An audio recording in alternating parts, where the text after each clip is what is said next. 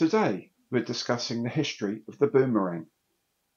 No, the, the fighter, not the thing. The fighter, the Commonwealth boomerang, right here on Gary's Stuff.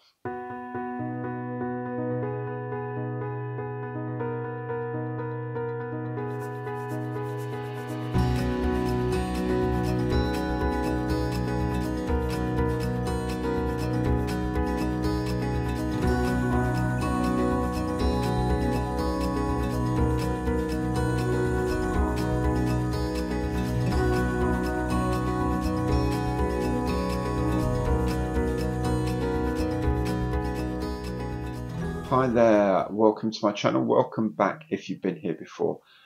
Today, indeed, is History Day. I'm looking at the history of this, the Commonwealth CA13 Boomerang, the kit of the week in 172nd scale from Airfix, a vintage classics release.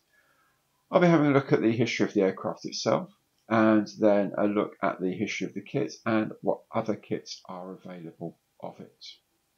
Now, if you liked the video, please do remember, Imperial thumbs up on the button below if you'd be so kind. And if you'd like to offer a bit more concrete support, you can do that through Super Thanks by becoming a channel member or indeed through any of my partner programs. Now, if you want to see how to build one of these, that's coming up soon. How you're going to know when that video is released, you're going to subscribe to the channel, hit the bell if you haven't yet done so, and you'll be notified of all my future releases as they're around. And if you are thinking of buying one of these and want to know what's inside the box, a video is already available on the channel. Let's have a look then at the history of the Commonwealth Aircraft Corporation CA-13 Boomerang.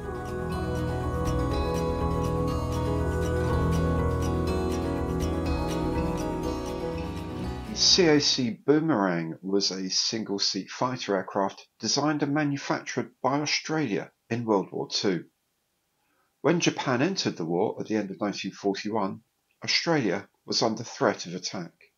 While some supplies of British aircraft, such as the Spitfire, were made available, they were in small numbers and unsuited to the harsh conditions. An urgent supply of a homegrown fighter was needed. The Commonwealth Aircraft Corporation was already making the North American NA-16 under license as the CAC Wirraway trainer. Crucially, the contract allowed for local modifications to be made. Keeping the tail, wing and centre section of the Wirraway, CAC added a 1200 horsepower twin Wasp engine, a single-seat cockpit, sliding hood, and an armament of two 20mm cannon and four 0.303 inch machine guns. The first flight of the CA-12 Boomerang was in May 1942, with the first squadron becoming operational in October.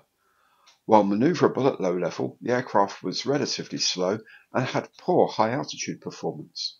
Nonetheless, its mere presence saw off many attacks. A slightly improved version, the CA-13, followed with the last production version being the CA-19 tactical reconnaissance aircraft. Ultimately, boomerangs were flown by five Royal Australian Air Force squadrons.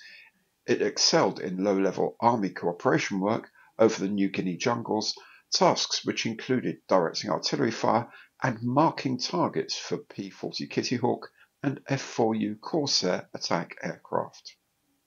By the end of the war, some 250 boomerangs had been produced. At least nine aircraft survive today in museums in Australia, with two aircraft that are still airworthy.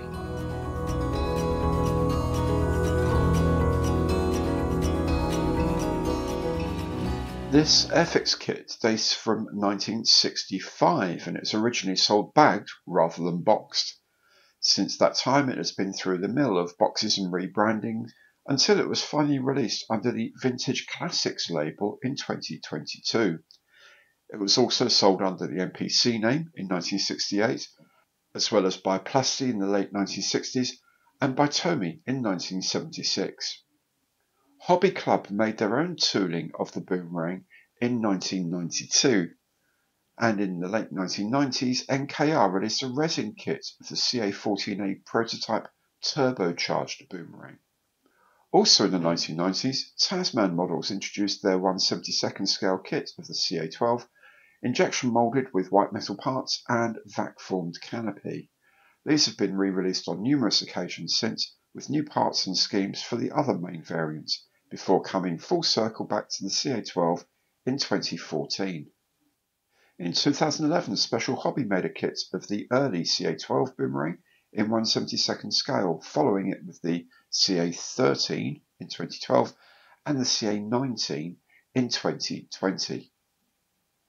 In other scales, Montex made a 132nd scale kit of the boomerang in resin with details in other media. This kit was taken up by AlleyCat in 2013.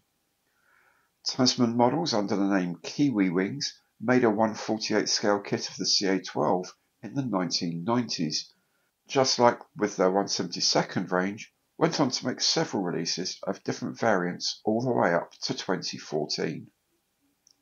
Special Hobby made a 148 scale kit of the CA12 in 2008, with the CA13 following it in 2012.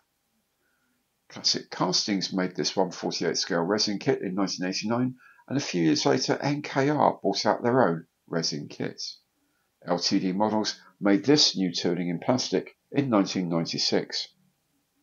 Finally, in 2008, Kami de Korokoro made this 1 144th scale kit of the boomerang, a scale also used by Decapod models for these 3D printed kits, which you can buy with the gear either up or down.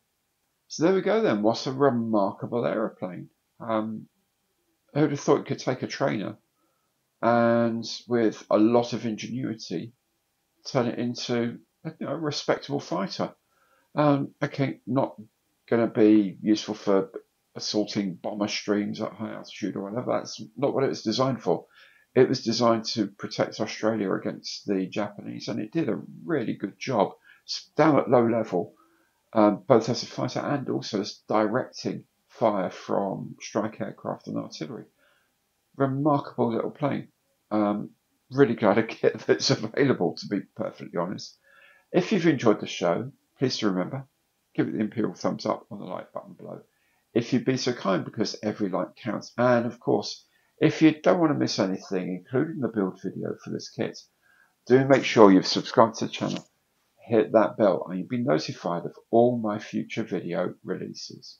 Thank you so much for watching today. Hope to see you again very soon. Take care now.